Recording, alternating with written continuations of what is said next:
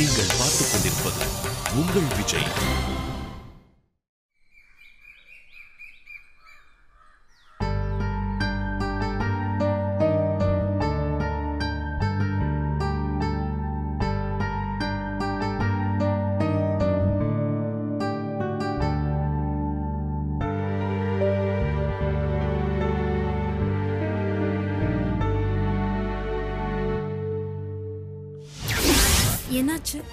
அவர் ரூம்ல இல்ல. முன்னாடி இருந்தோம். வேற எங்கெல்லாமோ மாப்பிள்ளை தேடுனது. என் தப்பு தான். அவனை விட ஒரு நல்ல பையன் உனக்கு கிடப்பான சொல்லு.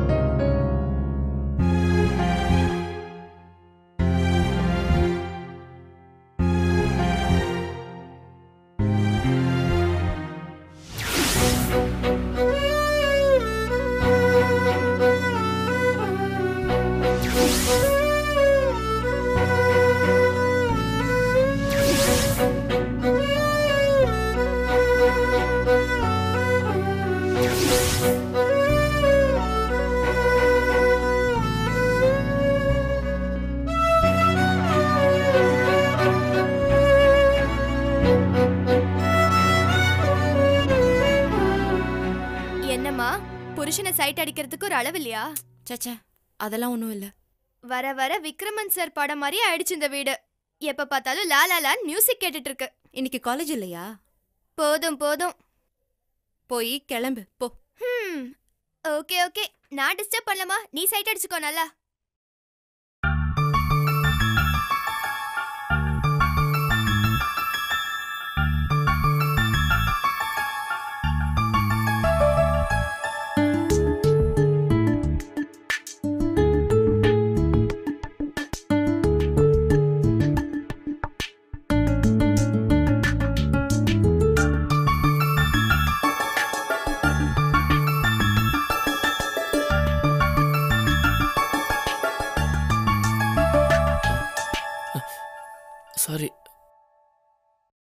ரொம்ப நேரம் தூங்கிட்டேனா? ஏன் இங்க தூங்குன? யூஸ்வலாக இங்கே தானே தூங்குவேன். அதே ஞாபகத்தில் காஃபி எடுத்துட்டு வரவா பரவாயில்ல இல்ல எடுத்துட்டு வரேன். வேண்டாம் மகா அப்புறமா குடிக்கிறேன்.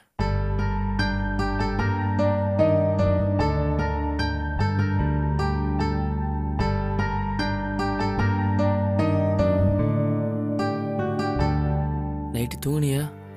ஆ நல்லா தூங்கிட்டேன். மாமா எங்க? தெரியல. நான் இப்பதான் எழுந்தேன். ஓ சரி.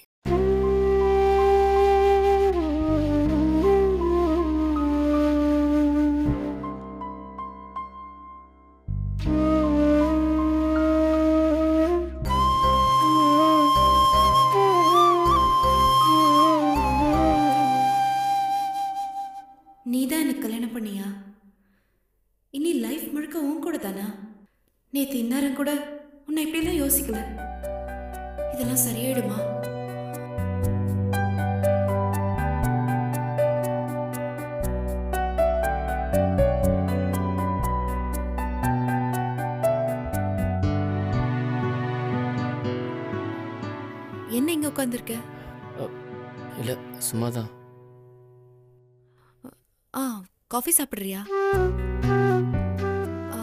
சாரி சாப்பிட்றீங்களா? இல்லை பரவாயில்ல. வேணாம் டெய்லி காலையில காஃபி குடிப்ப தானே சாரி குடிப்பீங்க தானே? என்னாச்சு திடீர்னு? ஏன் இப்படி கஷ்டப்படுற? எப்போ போல பேசு. சரி ஏன் காஃபி வேணாம்? இல்லை சும்மா தான் எதுக்கு கஷ்டம்னு? காஃபி போடுறதுல என்ன கஷ்டம்? ஒரு நிமிஷம் எடுத்துட்டு வரேன். ம். கொண்டு வரவா? சரி.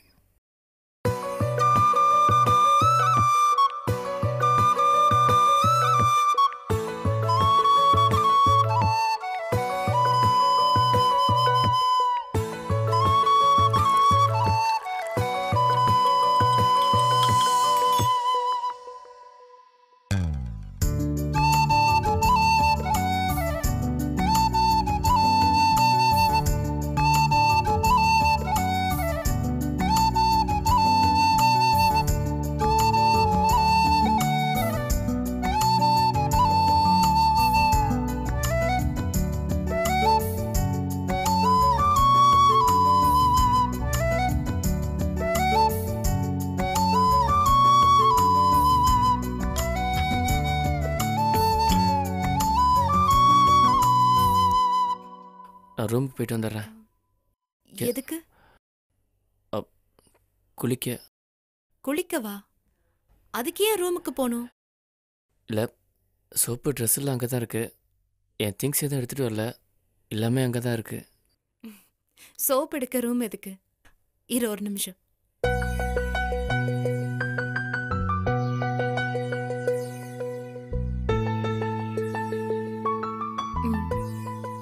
ட்ரெஸ் கூட இங்க தான் இருக்கு. நான் எடுத்து வைக்கிறேன்.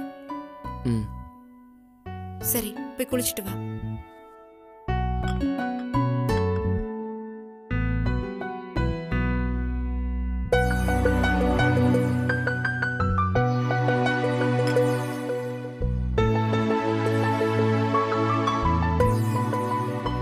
ஹாய் மகா நீ என்ன? இன்னைக்கு வந்து கிச்சன்ல நிக்கிற? காஃபி தரவா? ஏய் புது பொண்ணு நீ. இங்க நின்னு வேலை செஞ்சுட்டு இருக்கேன்னு கேக்குறேன். நம்ம வீடு தானே இதுல என்ன இருக்கு? இரு காஃபி தரேன். அதெல்லாம் எனக்கு வேணாம். மாம்ஸ் எங்க மேல இருக்காரு. ஏய் என்ன இருக்காருன்னு சொல்ற? ஓ மரியாதையா? சும்மா இருடி. எனக்கு எப்படி கூப்பிடுறதுன்னே தெரியல. ஏய் பாரதி ஏதோ நேத்து தான் பார்த்த மாதிரி சொல்ற? ரொம்ப வருஷமா தெரிஞ்ச ஆள் தானே? அதான் குழப்பமா இருக்கு. இவ்வளவு நாள் பேர் சொல்லி வா போன்லாம் சொல்லியாச்சு. இனி அப்படி கூப்பிட்டா சரியா இருக்குமா? எப்படி கூப்பிட என்ன பேச? ஒண்ணுமே புரியல. இதெல்லாம் ஒரு பிரச்சனையா? அரேஞ்ச்டு மேரேஜ் கப்பலே அடுத்த நாள் ஜாலி ஆயிடுறாங்க. உங்க ரெண்டு பேருக்கு என்னவா? ஆல்ரெடி தெரிஞ்சவங்க தானே?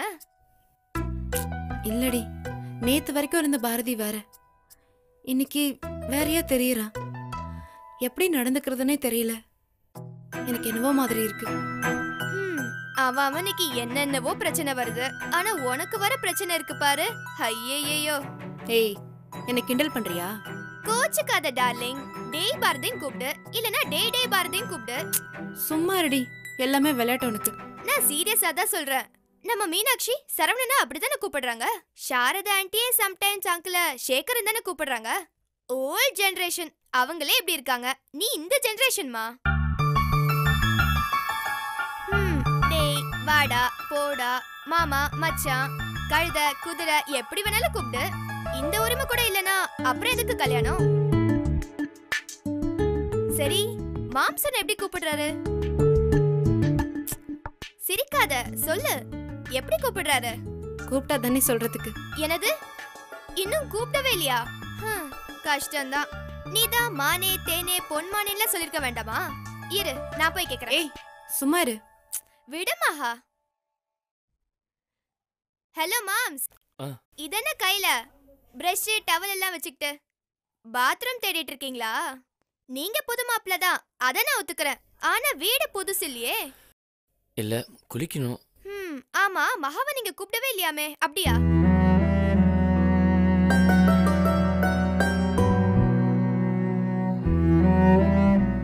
சும்மா இரு இந்து. ம் பாரா. புருஷனை கிண்டல் பண்ணா இவங்களுக்கு கோவம் வருது? சரி மாம்ஸ். நீங்க இப்ப எதுக்கு டவலோட வெயிட்டிங் மகா வந்தாதான் குளிப்பீங்களோ? இப்போ நான் ஏதாவது பிரச்சனை சொன்னேன்னா குளிக்கிறதுக்கு எதுக்கு திணைக்காளி கேட்குற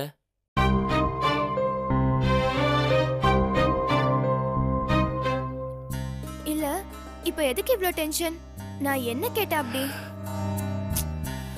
சாரி சும்மா தான் இல்ல இப்ப நீங்க இந்த வீட்டு மாப்பிள்ள நீங்க கோவப்பட்டா கேட்டுதானே ஆகணும். ஏய் அப்படிலாம் இல்லை. சும்மா தான்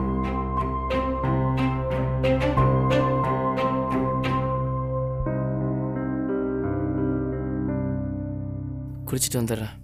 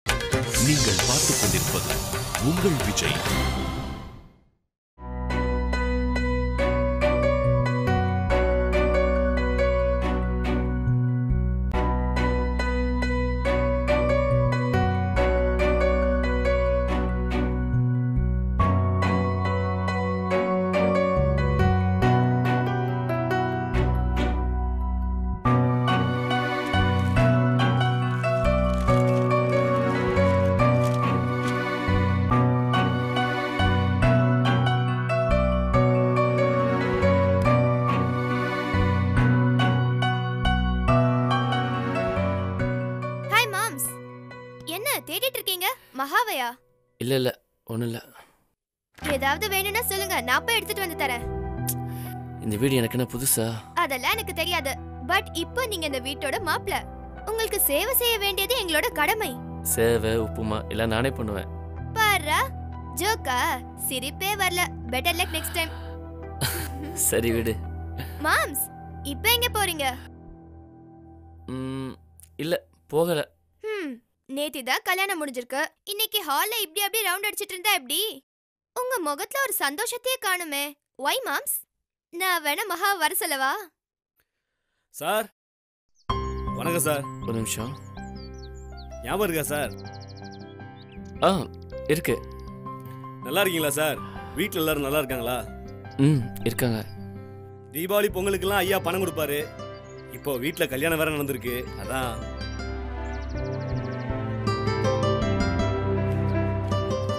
இந்தாங்க ஐயா இல்லைங்களா? இல்லை மாமா வெளியே போயிருக்காரு. கல்யாணத்துக்கு வர சொல்லியிருந்தாரு. வர முடியல. கல்யாணம் நல்லபடியாக முடிஞ்சுதா? அதெல்லாம் முடிஞ்சது. பொண்ணு இங்கே இருக்காங்களா? மாப்பிள்ளை வீட்டில் இருக்காங்களா? இங்கே தான் இருக்காங்க. அப்போ மாப்பிள்ளை இங்கே தான் இருப்பாரு. அவரையும் ஒரு தடவை பார்க்கணும். எப்படி இருக்காருன்னு பார்க்கணும்ல. பார்க்கலாம். திரும்பவும் வருவீங்கல்ல? ஆ வருவேன் சார். அப்போ பார்க்கலாம். அப்போ நான் வரேன் சார். ம்.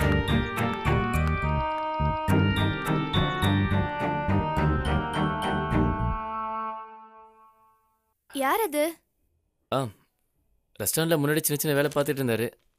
மாமா அப்பப்போ காசு கொடுப்பாரு. ஓ பேப்பர் படிக்கிறீங்களா? இல்லை படிச்சு ஒரு நிமிஷம். ஹலோ? முதல்ல சொல்ல வேண்டாமா? சரி ஏஜென்ட் ஃபோன் பண்ணி பார்த்தீங்களா? எத்தனை தடவை சொல்லியிருக்கேன். எக்ஸ்ட்ரா ஒன்று இருக்கணும்னு. லாஸ்ட் மினிட்ல தான் ஃபோன் பண்ணுறதா சரி சரி. நான் ஏதாவது அரேஞ்ச் பண்ணுறேன் ம்?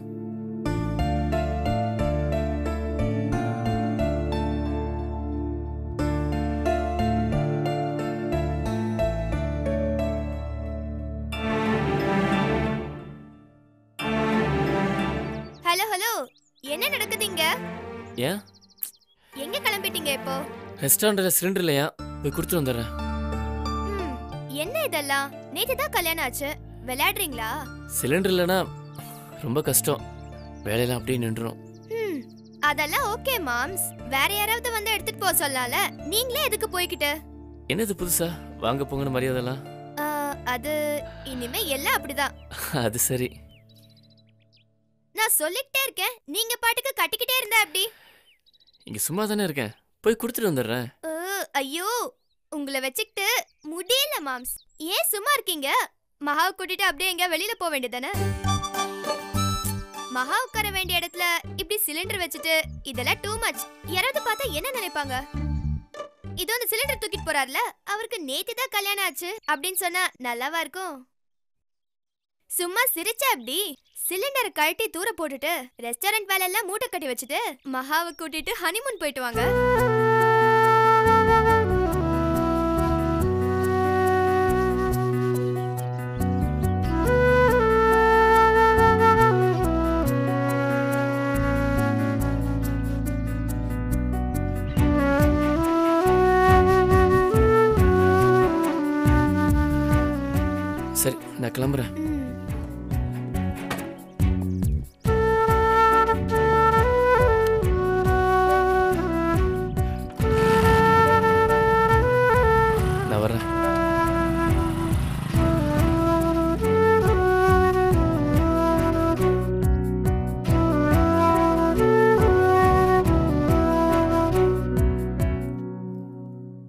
இந்த வேஸ்ட் மகா? எப்ப பார்த்தாலும் வேலை ரெஸ்டாரண்ட் அப்பான்னு.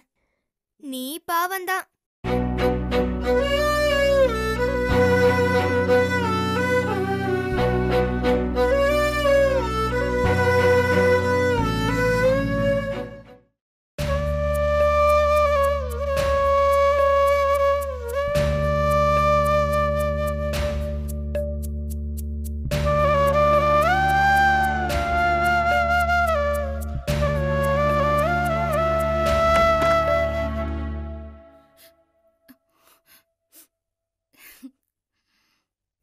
என்னாச்சு? உடம்பு சரியில்லையா? இல்ல இல்ல கொஞ்சம் டயர்டா இருக்கு. ஏய் என்ன ஃபீவரா இருக்கிற மாதிரி இருக்கு? ஃபீவர்லாம் இல்ல. டயர்ட் தான். ரெஸ்ட் எடுத்தா சரியாயிடும். காலையில இருந்து ஆளே காணும். சாப்பிட கூட இல்ல? இல்ல. ஜூஸ் குடிச்சேன். போதும். பெருசா பசிக்கல. பொய் சொல்லாத. நீ தான் ரூம்ல இருந்து வெளியவே வரலையே. அப்புறம் எப்படி ஜூஸ் குடிச்ச? இந்திரா எடுத்துட்டு வந்து கொடுத்தா மறுபடியும் பொய் சொல்லாத. நான் அவகிட்ட கேக்கட்டுமா? கேளு. எதுக்கு இப்ப சிரிக்கிற? எங்களை பத்தியே கவலைப்படுறத. கொஞ்சம் விடு சொல்லுமாஹா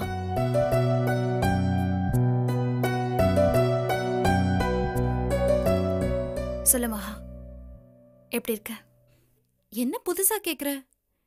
ஏதோ ஊர்ல இருந்து வந்திருக்கிற மாதிரி. நேத்து மகா வேற. இன்னைக்கு இருக்க மகா வேற. ஒரே நாள்ல எவ்வளோ சேஞ்சஸ் அதான் கேக்குறேன். எப்படி இருக்க?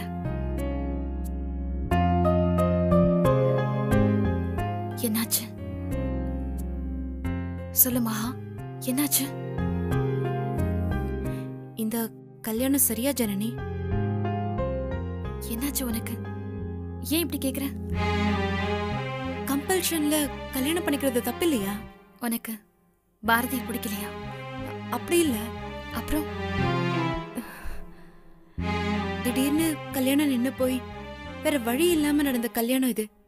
இந்த கல்யாணம் நிக்காம அந்த பிரபுவை கல்யாணம் பண்ணிருந்தா என்ன இருக்கும்னு கொஞ்சம் யோசிச்சு பாரு. சச்ச நான் அப்படி சொல்லல. எனக்கு புரியுது மகா.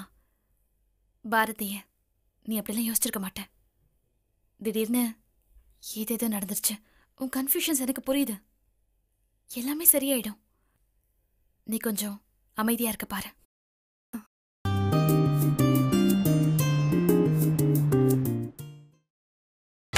நீங்கள் பார்த்துக் கொண்டிருப்பது உங்கள் விஜய்.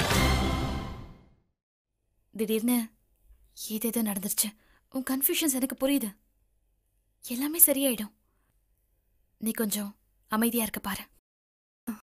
இல்ல ஜனனி உனக்கு எப்படி சொல்றது? கல்யாணம் நின்னு போனது பாரதியோட கல்யாணம் நடந்தது. எல்லாமே இன்னும் ஒரு கனவு மாதிரி இருக்கு.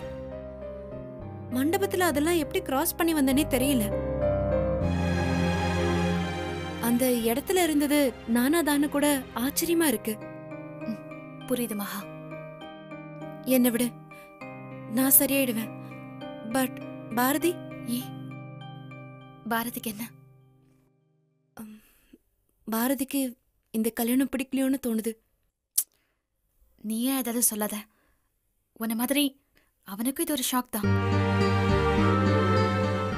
கொஞ்சம் டைம் எடுத்தா எல்லாம் சரியா போயிடும். இல்ல ஜனனி எனக்கு ஒன்றும் ப்ராப்ளம் இல்ல. ஏன்னா கல்யாணம் அதுக்கப்புறம் வரப்போற லைஃப் பத்திலாம் எனக்கு எந்த ட்ரீமும் இல்ல. நான் அதையெல்லாம் பெருசா யோசிச்சதே இல்ல. எனக்கு கல்யாணம் நடக்கலன்னா அப்பா ரொம்ப வருத்தப்படுவாரு. அவ்வளவுதான் நான் யோசிச்சது. ஆனா பாரதி அவனுக்கு அப்படி இல்லைல்ல. அவன் கல்யாணத்தை பத்தி அவன் ஏதாவது யோசிச்சிருக்கலாம். வேற மாதிரி ட்ரீம்ல இருந்திருக்கலாம். இந்த கல்யாணம் நடந்ததுல அவன் அப்செட் ஆயிட்டானோன்னு தோணுது. எப்படி பார்த்தாலும் கம்பல்ஷன்ல நடந்த கல்யாணம் தானே இது. அவன் அப்படி ஏதாவது உன்கிட்ட சொன்னானா? சொல்லல. ஆனா அவன் நடந்துக்கிறத பார்த்தா அப்படிதான் தோணுது. அப்படி இல்ல மகா. பாரதியை பத்தி உனக்கு தெரியாதா? அவன் ரொம்ப கூச்சப்படுவான் ஓப்பனா பேச தெரியாது அவனுக்கு. அதான் உனக்கு அப்படி தோணுது. அவன்கிட்ட இந்த கல்யாணத்துல சம்மதமான கூட யாரும் கேட்கல மானம் போயிடும் மரியாதை போயிடும். கல்யாணம் பண்ணிக்கோன்னு சொன்னா அவனுக்கு வேற ஆப்ஷனே இருந்திருக்காது. அதுவும் அவன்கிட்ட கேட்டது அப்பா. அப்பா கேட்டு அவன் நோ சொல்லவே முடியாது. பாவம் ஜனனி அவன். பாரு இப்ப கூட உன்னை பத்தி யோசிக்காம அவனை பத்தி யோசிக்கிற பாத்தியா? உன்னோட இந்த நல்ல மனசுக்கு நீ சந்தோஷமா இருப்ப மகா. பாரதி தான் உனக்கு ஏத்த ஆள். அவனாலதான் உன்னை ஹர்ட் பண்ணாம ஹாப்பியா வச்சுக்க முடியும். எனக்கு எனக்கு என்ன தோணுதுன்னா அவன் கூட நீ சந்தோஷமா இருக்கணுங்கிறதுக்காக தான் உன் கல்யாணத்துல இவ்வளோ ப்ராப்ளம்ஸ் நடந்திருக்கு. சரியா சாப்பிடல பேசல. அவனை பார்க்கவே பாவமா இருக்கு. என்னால தான் அவன் கஷ்டப்படுற மாதிரி அதான் அதெல்லாம் ஒன்றும் இல்லை. நீ நினைக்கிற மாதிரி பாரதிக்குன்னு தனியாக எந்த ட்ரீமும் இல்லை. அவனை பற்றி எனக்கு தெரியும். ஹோட்டல் அப்பா. இதை தாண்டி அவன் யோசிக்கிற ஆள் இல்ல. உன்கிட்ட அவனுக்கு இருக்கிறது ஒரு சின்ன தயக்கம் தான் உன்னை அவன் வைஃபை யோசிச்சிருக்க மாட்டான். உன் கல்யாணத்துக்காக அவன் நிறைய வேலை செஞ்சிருக்கான். டக்குன்னு நீயே அவன் வைஃப் ஆனதும் அவனுக்கும் என்ன பேசுறதுன்னு தயக்கம் இருக்கும்ல? இன்ஃபேக்ட் உன்ன மாதிரியே அவனும் திங்க் பண்றானோ என்னமோ. கம்பல் பண்ணி மகாவை கல்யாணம் பண்ணி வச்சுட்டாங்க. அவளுக்கு என்ன பிடிக்குமான்னு அவனும் யோசிக்கலாம்ல. ரெண்டு மூணு நாள்ல நீங்க கேஷுவலா பேச ஆரம்பிச்சா எல்லாமே சரியாயிடும். ரொம்ப யோசிக்காத மகா கொஞ்சம் அமைதியா இரு. ம், சரி. உன்கிட்ட பேசினா சரியாகும்னு தோணுச்சு. அதான் நீ ரெஸ்ட் எடு. சாப்பிட கூப்பிடும் போது வரணும் ஓகே? ம்.